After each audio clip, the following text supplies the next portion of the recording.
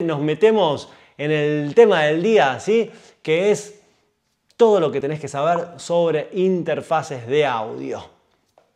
Es un tema muy, pero muy largo que voy a tratar de resumir como para que no se nos hagan las 12 de la noche y yo siga acá hablando y esté todo el mundo durmiendo, cosas por el estilo. Además porque en algún momento voy a sentir que tengo ganas de comer. Así que voy a tratar de no alargarme mucho.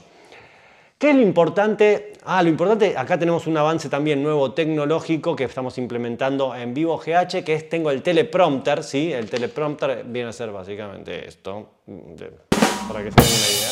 Pero bueno, me va a servir a no olvidarme nada de todo lo que tengo que hablar de las interfaces de audio. Así que ahí está mi teleprompter manual. Ah.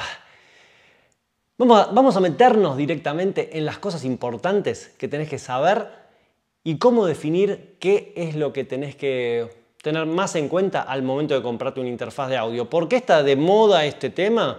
Porque desde que no salimos nunca de cuarentena, si bien la cuarentena ya medio que casi ni existe, de hecho, eh, todo el mundo, o la mayor parte del mundo, se dio cuenta que qué cagada, el estudio está cerrado, qué cagada, estoy encerrado en mi casa, qué cagada, no tengo nada para grabar, ¿cómo hago ahora? ¿Cómo sigo con la banda? ¿Cómo compongo? ¿Cómo nos pasamos ideas? Es todo un, todo un problema gigantesco, ¿sí? Mucha, aunque no lo creas, mucha gente se dio cuenta de esto y dijo, bueno, lamentablemente ahora tengo que agarrar y me tengo que comprar una interfaz, me tengo que comprar micrófonos, cable que no tenía, monitores, auriculares. Cuando te das cuenta, te, te estancaste en el pasado, no te fuiste equipando con algunas cosas básicas que te iban a servir y la cuarentena pegue se te vino encima. Así que no nos vamos a ocupar de todo el resto de la cadena de audio, vamos a ocuparnos de la interfaz que es la base de todo eso, ¿sí? ¿Y por qué es importante que tratemos este tema?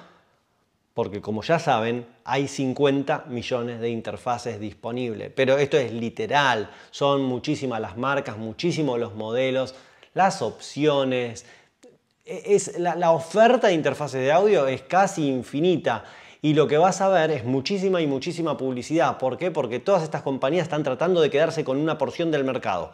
Eh, y es, la gente es medio ecléctica, por lo menos en lo que es interfaces, van de un lado para el otro, siguen modas que muchas veces no tienen sentido. Entonces vamos a tratar de aclararte esto lo más posible, como para que en el momento de que vayas a comprar una interfaz, inviertas tu plata de la mejor manera, de la, sí, de la, mejor manera posible. ¿sí? Entonces, ¿qué es lo primero a tener en cuenta cuando decís, bueno, necesito una interfaz de audio, ¿cómo elijo la mejor?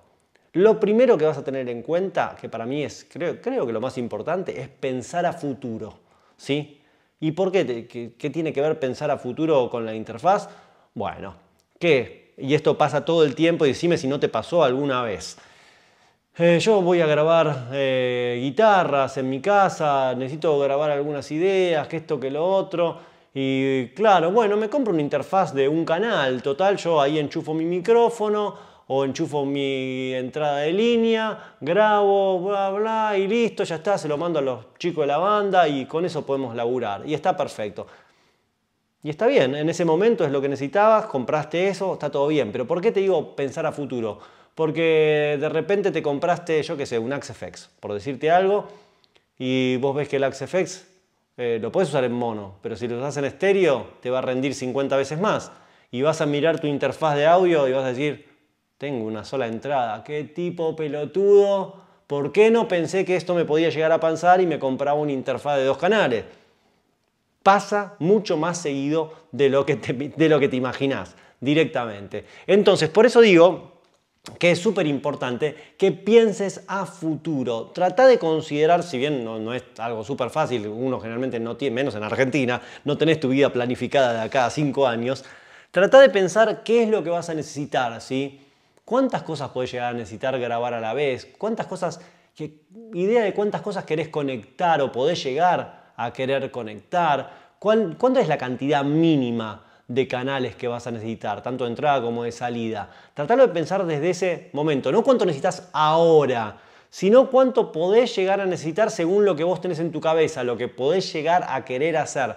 Pensá siempre a futuro. Imagínate qué es lo que vas a querer hacer qué es lo que te puede llegar a querer comprar. ¿Por qué? para después no tener que vender la interfaz y comprarte otra, porque en el compro, vendo y vuelvo a comprar, terminás perdiendo plata. Siempre, salvo que seas mandrake o que te dediques a esto, generalmente terminás perdiendo plata.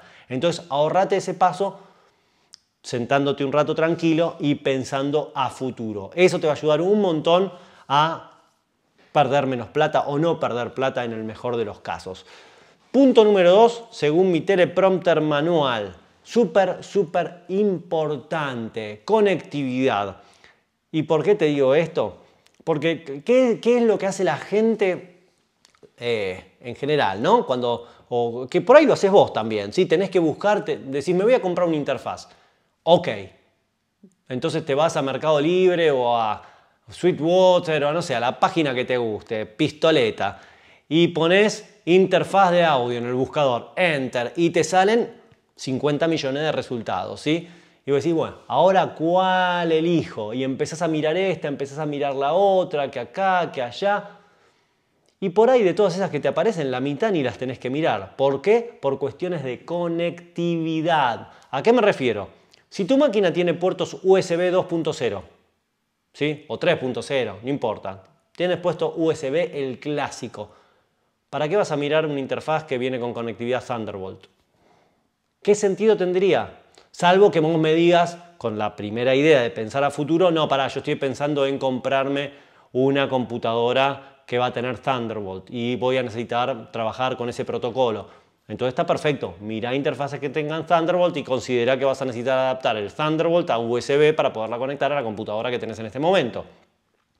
Lo mismo sería al revés, si tu computadora, si vos tenés una, una MacBook Pro, una, sí, una MacBook Pro de las nuevas o una MacBook Air, cualquiera de las nuevas, que vienen con conector USB-C, ¿sí? nada más que ese. ¿Para qué mirás placas que vienen con conector eh, USB 2.0?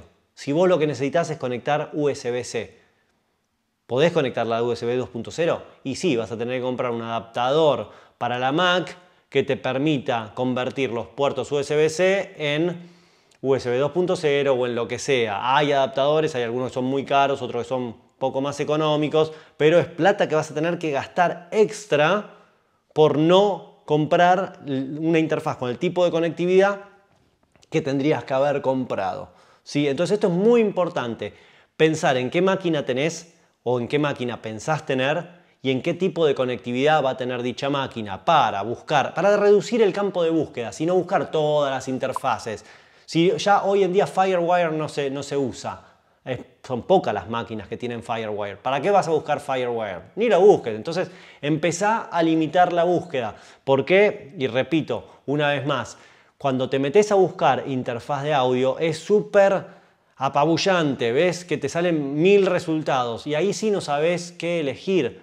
En cambio, si empezás a limitar la búsqueda por, por ejemplo, tipo de conectividad, se te empieza a aclarar un poco el panorama. Así, que es súper importante tener en cuenta la conectividad. ¿Qué más tenemos acá eh, en el teleprompter? Usos. ¿sí? Y esto estaba relacionado con una pregunta que me hacían por ahí, no me acuerdo exactamente quién era, no la estoy viendo ahora, pero no importa. ¿Qué uso le vas a dar? Eso es muy, pero muy importante y muchas veces está relacionado obviamente con el punto número uno que es pensar a futuro. ¿sí? Con eso que yo te decía, por ejemplo, voy a grabar mi voz nada más, la voy a usar para transmitir en vivo, la voy a usar para, para jugar y hacer streaming, la voy a usar para grabar guitarras. ¿Para qué la vas a usar? ¿Sí? ¿Para qué? Porque ese para qué generalmente te va a dar ideas de cosas que tiene que tener la interfaz y de cosas que no es necesario que tenga. ¿sí? Por ejemplo, si vos sabés que vas a querer grabar en estéreo, y sabes que voy a hacer dos canales de entrada, vas a necesitar. Si no importa si son de línea o de pre, pero vas a necesitar dos canales de entrada a los cuales conectar en estéreo. ¿Ok? Entonces, de esa forma, sabiendo vos lo que querés hacer, para qué exactamente la vas a usar en este momento y un poco a futuro, definís bien los parámetros que debe cumplir o las características que debe tener la interfaz. Así que eso es súper, pero súper importante. Tené bien en claro, antes de buscar la interfaz, bien en claro en tu cabeza, ¿para qué la querés? ¿Qué es lo que vas a hacer? Recordá, por ejemplo, si vos me decís, y esto es un ejemplo de la vida real, ¿sí? Suponete que vos con un canal estás bien, Porque sí, no vas a necesitar nada más, vos te dedicás a, a, jugar al Fortnite o a lo que sea y te gusta hacer streaming, ¿sí? Por Twitch. ¿Ok? Y necesitas un micrófono y necesitas una interfaz. Ok, un canal solo te alcanza. Y decís, bueno, elijo cualquier interfaz de un canal y voy bien porque total, para lo que hago eh, es suficiente.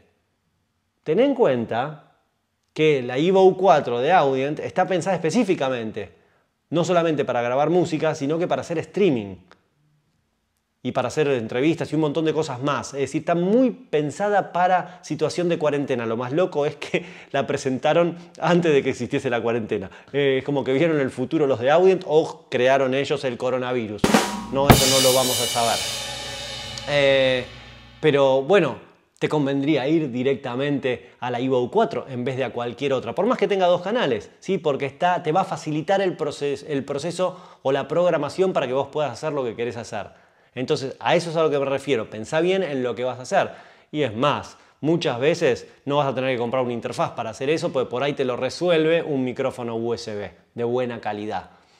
Entonces, pensá. Siempre digo lo mismo. Pensá bien lo que querés hacer para en base a eso definir bien cuáles son las características que debe tener la interfaz. ¿Qué otra cosa tenemos por acá? Bueno, esto, súper, súper importante, lo vengo repitiendo ya en los temas anteriores. Como podrán ver, muchos de estos temas están obviamente correlacionados, ¿sí? Porque cumplen todos funciones relativas entre sí y se refieren todos obviamente al mismo aparato, que en este caso es la interfaz de audio. ¿Qué es importante que tengas en cuenta? La cantidad de entradas y salidas que vas a necesitar. ¿Ok? Muchas veces esto hay gente que no lo ve claro y es importante que lo vean claro. Vamos a dar un ejemplo clásico, ¿sí? No, no clásico, un ejemplo que yo veo como, como muy claro, que es el de una interfaz que se está vendiendo muchísimo hoy en día, la Audient ID14. ¿Ok? Vos la mirás, la mirás así y tiene dos entradas ¿sí? porque son los dos preamplificadores, y dos salidas. Por la mirada son dos entradas y dos salidas, y decís, con esto me alcanza, estoy bien, si necesitas dos entradas y dos salidas. ¿sí? Ahora, si miras las descripciones de la placa, vas a ver que no dice que tiene dos entradas y dos salidas, tiene más entradas. ¿ok? ¿Y por qué es eso? ¿Y por qué mucha gente no lo termina o no se termina dando cuenta de ello? Porque mucha gente asocia como que entrada es los preamplificadores de micrófono. Y no, esos son preamplificadores de micrófono, no son entradas, ¿ok? Cuando te hablan generalmente en una placa de entradas, se refieren a entradas de todo tipo. Pueden ser entradas con preamplificador de micrófono, entradas de línea, entradas combinadas, entradas de inyección directa, las conocidas DI, sí que es la típica o entrada de instrumento, como le quieras decir. Son todo ese tipo de entradas. Pueden ser entradas digitales también. Y eso, por eso vas a ver en la ID14, cuando ves que te dice cuántas entradas tiene, tiene muchas más entradas que dos. ¿Por qué? Porque podés ampliar la ID14 a 8 entradas de micrófono más con un preamplificador de micrófono externo que se conecte de manera digital. Eso quiere decir por cable ADAT. Entonces, esto de cantidad de entradas y salidas se relaciona con otro punto importante que tengo en el teleprompter, que es eh, la no me sale la palabra en castellano, capacidad de expansión, digamos, la capacidad de expansión que tiene la interfaz. ¿Por qué es importante esto? Se relaciona con lo que te dije al principio, pensar a futuro. Por ahí a vos hoy en día te sirve dos entradas, porque lo que quieres hacer es grabar una guitarra estéreo o grabar una guitarra en mono pero con dos micrófonos o grabar dos voces simultáneamente, no importa, lo que sea, ¿sí? Eh, pero a futuro decís, y a mí me gustaría grabar una batería básica también. Si te compras una Evo 4, por decir un modelo del que veníamos hablando, no vas a poder grabar una batería básica. Vas a poder grabar una batería con dos micrófonos aéreos y dos overhead y arreglate. En cambio, con la ID14, que tiene dos preamplificadores de micrófono y estarías en, el mismo caso que la Evo 4, la podés expandir con este módulo de 8 preamplificadores y pasar a tener 10 preamplificadores, lo cual te abre un nuevo espectro de posibilidades al momento de grabar una batería. 10 micrófonos para mi gusto para grabar una batería es poco, pero digamos que una batería chica más o menos la podés pilotear y sacar buenos resultados. Así que pensá a futuro, ¿sí? Esto se relaciona todo con lo que te dije al principio. Pensá a futuro y eso te va a dar también una idea de la cantidad de canales. Entonces, eso quiere decir que si vos pensás futuro y si voy a grabar baterías, necesitas comprarte una interfaz. Suponete que querés grabar baterías y vos sos un loco que grabas con 18 micrófonos, no sé, 20, no sé, algo por el estilo. Una batería con 18 micrófonos. Lo cual puede ser alguna batería grande, no es que seas loco, simplemente los necesitas. Eh, y vos decís, uh, tengo que comprarme una interfaz de 20 canales. Y te pones a mirar y no hay interfaz de 20 canales. Yo la más grande que se me ocurre en este momento es creo que la, la Orion Studio de Antelope, que tiene 12 preamplificadores. Creo que es la, la más grande. Después hay, hay, interfaces de 16 entradas, pero que tenés hasta 8 preamplificadores. Tendría que ponerme a revisar en la cabeza a ver si hay alguna de más de 12 preamplificadores, pero es lo que se me ocurre en este momento. 12 como una de las más grandes. ¿Te sirve para una batería? Sí, pero bueno, si vos decís yo necesito grabar con 20, eh, no. Y la, respuesta a esto es no vas a encontrar, generalmente, hasta donde yo sé, por ahí hay, una, una interfaz de audio que tenga 20 preamplificadores. Sí, no la vas a encontrar. Entonces ahí ya tenés que empezar a mirar o a buscar por otro lado, que tenés que decir, bueno, esta tiene tantos preamplificadores, pero me deja expandirla a X cantidad de preamplificadores. Por ejemplo, la ID14, como te dice, de 2 podés ir a 10. Una ID44, que es la más grande de Audien, de 4 podés ir a 20, ¿ok? Con dos módulos de 8 preamplificadores. Entonces, lo tenés que pensar de esa forma. No buscar una interfaz que por ahí te solucione todo de movida, la sacas de la caja y tenés 20 canales porque probablemente no la encuentres, sino que por lo menos te dé la posibilidad de a futuro tener todo eso cubierto. Así que súper, pero súper importante. Van a ver que voy siempre sobre la misma idea de pensar a futuro. ¿Por qué? Porque el consejo que te estoy dando es para tratar de ayudarte a ahorrar plata y si no es ahorrar plata es a invertirla de la mejor manera posible, lo cual es súper importante. ¿Para qué? Como ya te dije antes, para no perder plata en el camino por tener que comprar, vender, volver a comprar, volver a vender, volver a comprar y que eso además te desgasta muchísimo y además que hace que vos instales drivers, desinstales driver, pases a instalar otro driver, te olvides de instalar este, te olvides de instalar el otro. Y especialmente si trabajas con PC, muchas veces la máquina te dice déjame de joder con los drivers que ya no entiendo nada, no entiendo qué querés usar y se te terminan colgando las cosas, no te andan bien, tenés que hacer un formateo total de la máquina para que empezar de cero y es terriblemente molesto. En Mac puede pasar también si pero es mucho más factible que pase en PC que en Mac. Créeme que esto es así.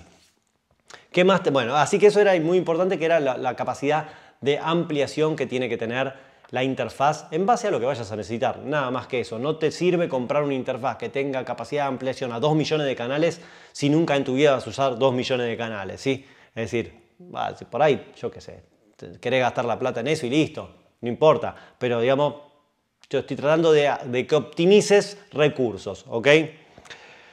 Eh, obviamente ya hablamos de la cantidad de pre, que es obvio algo que tenés que considerar, ¿sí? ¿Por qué? Por la cantidad de micrófonos que vayas a conectar. Básicamente, pensá que hay algunas placas que tienen por ahí 2, 3, 4 pre, pero además tienen entradas de línea adicionales. Y por ahí con la cantidad de pre, suponete, tenés alguna interfaz que es eh, ocho entradas, ¿sí? pero de las ocho entradas son cuatro pre y cuatro líneas. Ahora, los cuatro pre también sirven como línea. Entonces, tenés las ocho entradas, puedes usar ocho entradas simultáneamente. Esto pasaba clásico con las, con las Digi 03, ¿sí? que te venían en configuraciones con diferente cantidad de preamplificadores. No sé si te acordás. Eh, por ejemplo, la mía tenía si mal no recuerdo, cuatro preamplificadores y cuatro entradas de línea, o podía usar todas líneas. ¿Cómo la usaba yo? Bueno, cuando quería usar micrófonos, yo grababa con dos micrófonos generalmente, entonces cuando quería grabar en estéreo tenía dos micrófonos por caja, usaba los cuatro primeros canales que eran los preamplificadores y después cuando quería grabar por línea, que un FX en estéreo o algo por el estilo, no usaba del 1 al 4, sino que usaba el 5, el 6 y así sucesivamente, ¿ok? Con lo cual, hay placas que tienen muchas entradas, no todas son preamplificadores, pero por ahí estás cubierto. Por eso te digo, siempre pensá en tus necesidades específicas, que es lo que hice yo en el momento con la Digi003 hace muchos, pero muchos años. ¿sí? Dije, ok, tengo que conectar tantas cosas, que eran generalmente seis u ocho cosas, pero no todas son micrófonos, ¿ok? No todas son micrófonos. Entonces, si no son micrófonos, no necesito preamplificador de micrófono en todos los canales. Lo cual también estaba bueno porque me liberaba algunos canales para poder usar preamplificadores de micrófonos externos. Yo de hecho hace muchos años hice con esa placa eh, demos utilizando preamplificadores de micrófono externo y los conectaba obviamente a las entradas de línea, no a las entradas que tenían preamplificador de micrófono. Así que ten, esto muy en cuenta, ¿sí? relacionado siempre con lo de pensar a futuro y los usos que le vas a dar. Exactamente a qué tenés que conectar, porque por ahí no necesitas que todos los canales tengan preamplificadores. Así que de esa forma también podés acortar la búsqueda, ¿sí? la vas haciendo cada vez más angosta y te vas acercando cada vez más rápido al resultado eh, o a básicamente cuál es la interfaz ideal para lo que vos necesitas hacer o para lo que vos la querés utilizar. Ah, ¿Qué más tenemos? Algo súper fundamental súper fundamental, que es la calidad general del producto. No me estoy refiriendo solamente a la calidad de audio, ya sabemos que, todo, que algunos productos suenan mejor que otros, yo a todo el mundo siempre le digo lo mismo, eh, suena mejor que Focusrite eh, y muchas veces suena mejor que eh, algunos productos de Universal Audio, eh, Behringer es horroroso, Samsung es horroroso, Tascam horroroso, tenés Antilope Audio muy bueno, Lynx maravilloso, Apogee espectacular, eh, tenés opciones, diferentes calidades de audio. Supongamos que no nos estamos preocupando por la calidad de audio, es muy importante que tengas en cuenta la calidad de componentes. ¿sí? Esto es fundamental. ¿Por qué? Una placa que se le jode un componente es una reparación que hay que hacer y muchas veces es un embole, más que nada por el hecho de que te quedas sin la interfaz mientras se está reparando, no por el hecho de que ay, vaya a quedar mal o no, pues por ahí se repara y queda exactamente igual, pero te fumas un tiempo sin tu interfaz que por ahí la necesitas para laburar. Con lo cual, tengan en cuenta que todo puede fallar, si no hay nada que sea infalible, todo puede fallar. Pero si apuntás a algo que tiene componentes de mayor calidad, no solamente mayor calidad de audio, sino mayor calidad de construcción, de calidad del componente en sí, eh, lo cual obviamente te ayuda en la calidad de audio, vas a estar más seguro, o digamos que jugás a lo más seguro, a que no se te vaya a romper nada. Ahora, si usás la interfaz como una bestia, la usás para jugar al fútbol en vez de para grabar, o le tirás cerveza encima, bueno, eh, no te quejes si falla. No son a prueba de todo, no son eh, un tanque alemán, son interfaces de audio. Y la mayoría, para no decirte casi el 100%, se hacen casi, eh, casi en China. Este, y si no, las que no se hacen en China tienen componentes chinos. Así que, muchachos, no son tanques alemanes.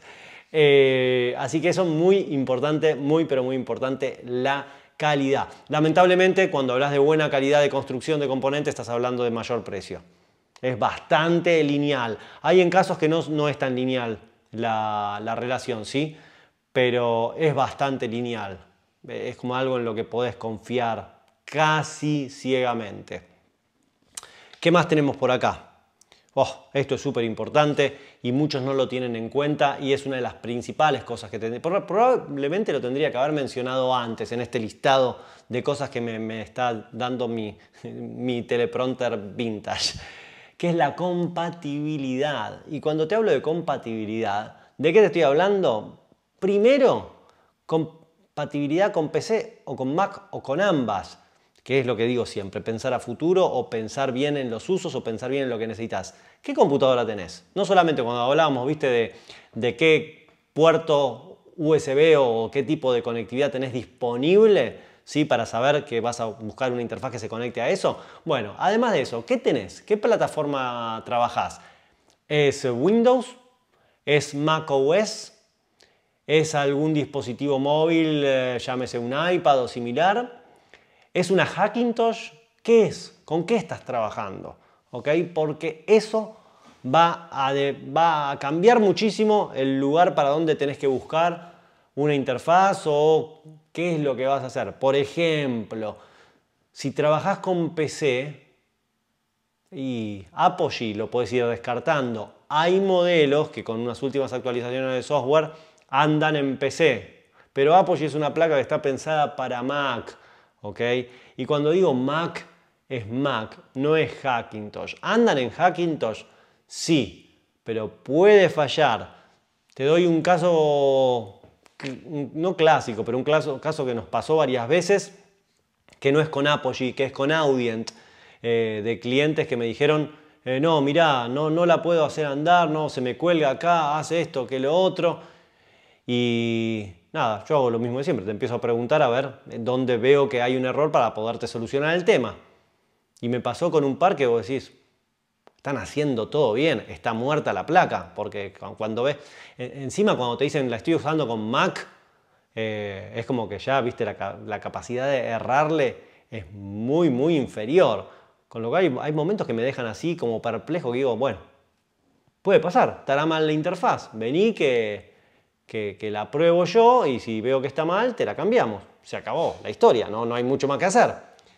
Eh, dicho y hecho, la probé yo y andaba perfecto la interfaz, con lo cual dije, acá hay algo que el cliente no me está diciendo y no sé qué es. Me pongo a indagar un poco más y resulta que no era Mac, era una Hackintosh. Entonces, claro, ahí está el problema. Ese es lo importante del lenguaje.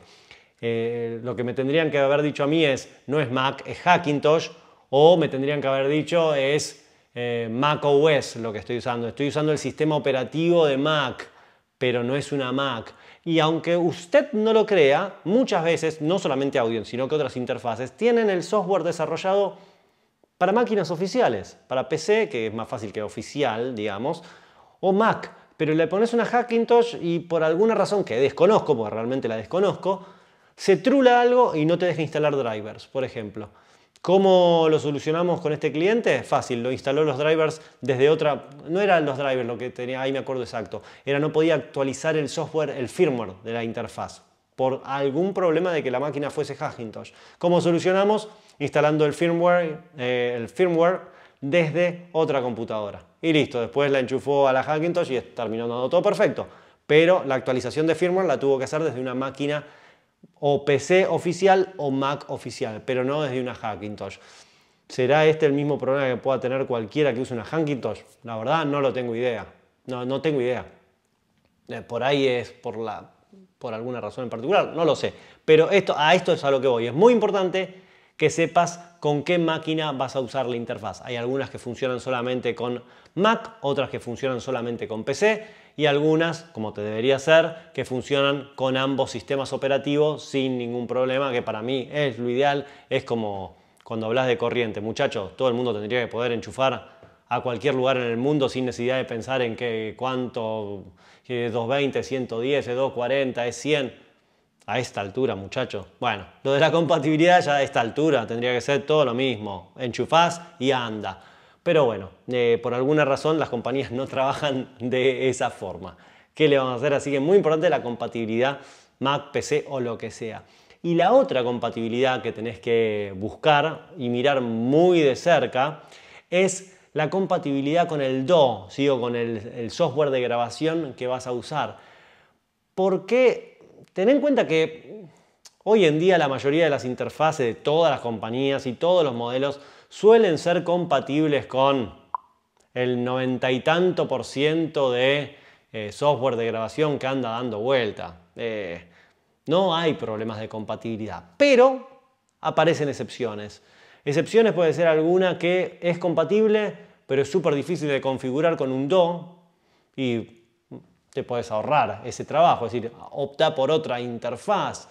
Eh, ahora, ahora no, puedo recordar el nombre de un DO que suele traer problemas con Audient, no porque eh, no sean compatibles, sino porque la gente no lo sabe configurar. Una vez que queda configurado, queda todo andando perfecto. Eh, pero hay, hay, un Do que trae así como problemas de configuración, que, no es simple, no es fácil de configurar, no es tan fácil como, como Pro Tools o Logic o Reaper, que es súper fácil, haces ping y, estás andando. Eh, con este tenés que dar más vueltas y ahora no me acuerdo cuál es. Eh, pero debe ser porque uno que es alguno que no usé nunca en mi puta vida. Eh, así que súper importante tener en cuenta qué DO vas a usar. Generalmente esto no te va a generar ningún problema, pero por las dudas siempre las, las especificaciones de la placa o la interfaz que vayas a comprar y asegúrate que funcione con el sistema operativo que vas a usar y con el DO que la querés usar. Suele no haber problema de esto, pero por las dudas asegúrate para no decir, ay, yo pensé que me iba a funcionar, ahora que la compré no la voy a regalar, ni vender, ni cambiar, tengo que cambiar el sistema operativo o tengo que cambiar el DO y es algo que no tenía en mi cabeza. Fíjate de antemano y te ahorras el disgusto. Eso es lo mejor que te puedo recomendar al respecto. Y como último tema o última consideración sobre las interfaces de audio, y esto es algo que eh, preguntaba en cierta forma Walter, eh, Wally, Walter Schlender, eh, que es súper interesante, es ¿qué es la mejor opción? ¿Comprarte una interfaz de audio o comprarte un conversor más hardware? Más hardware quiere decir, por ejemplo, más preamplificadores, que, que es lo normal, ¿no? Preamplificador de línea, micrófono, de lo que sea. ¿Cuál es la mejor opción? Y la respuesta a esto, que, es lo, más, eh, lo, mejor que te puedo decir, es, eh, lo, tenemos ahí a, Wally, eh, mil gracias Wally que está con el super chat, como de costumbre Wally, una masa. dice muchas gracias por la, por la data. Es un placer siempre brindar toda la información que podemos y tratar de aclarar todo lo más posible. ¿Para qué? Para que no metas la pata al momento de comprar y en lo posible ahorres plata. Este, así que nada, mil gracias Wally. Y ahí justo estaba con, con tu tema de lo que es interfaz o conversor. Así que dicho esto, y habiéndole agradecido a Wally, ahora después cuando terminemos con esto voy a agarrar varias preguntas que tengo ahí, así que no se preocupen que veo que van entrando, pero no quiero andar interrumpiendo cada dos segundos el tema del día. Eh, es la pregunta del millón, realmente. Y la respuesta suele ser bastante simple. ¿Por qué? Tenés que pensar, punto número uno, en algo que hasta ahora no lo había mencionado, pero que es súper importante, que es cuánto querés gastar. Es así, es cuánto querés gastar, básicamente. Si vos tenés un presupuesto de 500 dólares y estás buscando interfaz, no busques una interfaz que de movida cuesta 1000 dólares. Si vos me decís tenés 500, ah, te puedes estirar hasta 600 y buscá en ese rango. Ahora, ni mires la de 1000 dólares. ¿Para qué? Si no te da el presupuesto para eso. No tiene sentido. Sí, eso es fundamental cuando buscas cualquier cosa, no solamente interfaces. Eh, dicho esto, si vas a pensar en, ¿me compro una interfaz o me compro un conversor más hardware? Eh, la primera pregunta que tenés que hacerte es, ¿cuánto quiero gastar? Si querés gastar poco, anda con la interfaz no hay opción conversor más hardware que te cueste lo mismo que una interfaz o que te cueste cerca de lo que cuesta una interfaz. No, conversor más hardware es mucho más caro que una interfaz. Cierto, hay interfaces que son muy caras, pero generalmente estas interfaces son muy caras, son buenos conversores además. Te doy unos ejemplos. La Orion Studio Synergy Core de Antelope Audio, me encanta. Eh, las eh, Symphony de Apogee, me encantan. Eh, de, hecho, la Symphony 2, un espectáculo. Links Studio Technologies, tenés las versiones que vienen con preamplificadores, de lo mejor que vas a encontrar. Mismo caso puedes encontrar con Burl Audio, mismo caso puedes encontrar con ah, Prism Sound. Tenés también las Apollo, las últimas Apollo, que es Apollo 8X o algo por el estilo, ahora no me acuerdo el modelo exacto, eh, que son buenos conversores realmente, andan bastante bien, no es lo mejor ni cerca, pero andan bien y tenés varios preamplificadores. Es decir, hay casos de interfaces entre comillas muy caras que digo entre comillas porque realmente son interfaces, pero además son muy buenos conversores, ¿sí? como todos estos ejemplos que te di. Ahora, hay casos donde estamos hablando de conversor y el conversor es conversor nada más, tenés entradas y salidas, se acabó. Después querés preamplificadores, tenés que empezar a meter preamplificadores. Y si vos pensabas en trabajar con 8 canales, por ejemplo, vos pensás que te compras un conversor de 8 canales, 8 entradas y 8 salidas, por decirte algo, y después le tenés que poner 8 preamplificadores, Y bueno, vas a tener que comprar 8 preamplificadores. Y el gasto se puede ir desde, no sé, 1.500 dólares o algo por el estilo a 10.000 dólares y cosas así. Así que, ojo, la opción de decir conversor más hardware, para mí es lo ideal. Para mí es la gloria, porque tenés lo mejor de ambos mundos. ¿sí? Tenés el hardware y tenés la conversión grosa. En una interfaz lo que tenés es la comodidad del todo en uno. ¿sí? Está buenísimo, está buenísimo y me parece que en algunos casos, como los ejemplos que les di, tenemos una muy alta calidad en interfaces y se pueden confiar en ellas 100%. Ahora, para el exquisito es conversor, que solamente son entradas y salidas, y hardware externo. Y bueno, ahí va a variar la configuración en cantidad de entradas y cantidad de salidas que necesites, cantidad de cosas que le puedas agregar al conversor eh, en materia de conectividad eh, que necesites. Eh, es otro mundo completamente diferente o que va por otra vía completamente aparte. Lo importante, a mí cuando me, suelen preguntar, mirá, ¿qué me conviene?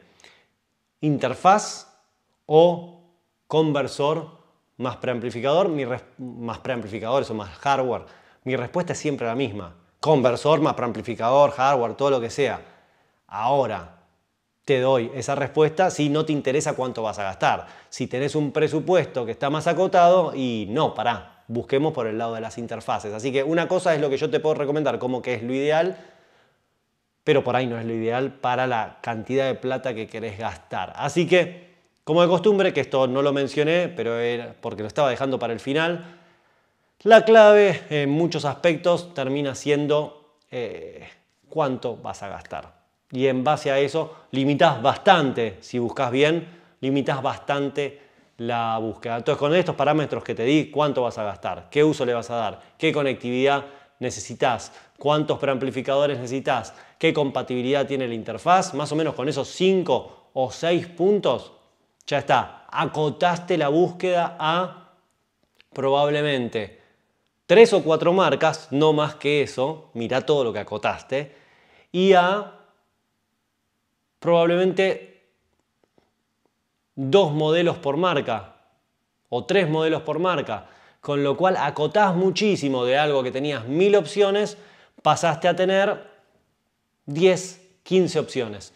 Y ahí se te soluciona la vida. Básicamente, cuando mirás en 15 opciones, después de última, si no sabes, decís, mira, esta la puedo pagar y tiene lo que necesito, esta la puedo pagar y tiene lo que necesito, ¿cuál compro? Bueno, ya si no sabes ahí, consulta a alguien que sepa, nos puedes consultar a nosotros, le consultás a cualquiera que esté en el tema y simplemente sepa y no te quiera vender algo, ¿sí? sino simplemente, que sea alguien en que podés confiar que te va a estar contestando con la posta y no simplemente te va a decir, no, sí, compraste Epiphone, que es la guitarra más grosa de la historia. Eh, consulta y en base a eso, cuando no sabes, mata si alguien te puede ayudar a tomar la mejor decisión. Así que con eso, muchachos, más o menos les tiré todas las ideas o todos los tips necesarios que van a tener que considerar para elegir qué interfaz, o en el caso de los que más arriba quieran ir, conversor más hardware, comprar. Cualquier cosa, saben que esto va a quedar subido, después lo pueden revisar y en base a eso pueden decidir cuál es la mejor opción. Eh, traté en lo posible de dar la menor cantidad de marcas y modelos posibles, salvo para ejemplos en particular Así no, no se ve como que estoy recomendando algún producto y otro no, sino más que nada son lineamientos generales para que con eso ustedes los apliquen y puedan orientar bien o enfocar bien la búsqueda y no perder días y días tratando de definir qué es lo que me voy a comprar y nunca llegar a buen puerto. Así que nada, apliquen estos consejos que les va a ir bien. Muy bien, Tema del día cerrado así con Moni, ahora vamos a ir agarrando preguntas.